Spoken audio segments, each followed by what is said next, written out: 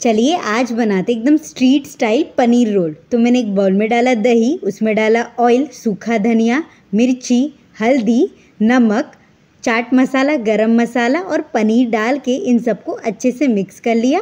फिर इसमें डाला लेमन जूस और वापस इन सबको अच्छे से मिक्स कर लेना है हमें। एक पैन में हमें इसे अच्छे से ट्रांसफ़र कर लेना है और पका लेना है जब तक इसका सारा मॉइस्चर उड़ ना जाए। अब आप देख सकते हैं, ये अच्छे से हो चुका है। अभी इसमें हमें ऐड करने हैं गाजर, शिमला मिर्च और अनियंस डाल के इन सबको वापस अच्छे से मिक्स कर लेना है हमें। अभी हमें लेनी है एक रोटी, उसमें ऐड करनी है म्योनीस और इसे अच्छे से स्प्रेड कर देना है। फिर हमें लेनी है मिंट की चटनी। अगर आपको इसकी रेसिपी चाहिए तो डिस्क्रिप्शन में मेंशन है। और इसे भी अच्छे से स्प्रेड कर देना है। जो फिलिंग हमने रेडी की थी वो डाल देनी है। थोड़े से अनियंस पत्ता गोभी डाल के इसे अच्छे से फोल्ड कर लेना है। बस अभी ये रेडी हो चुका है खाने के लिए और ये टेस्ट में बहुत ज़्यादा यम था। आपको भी ये ट्राई करना चाहिए घर पर।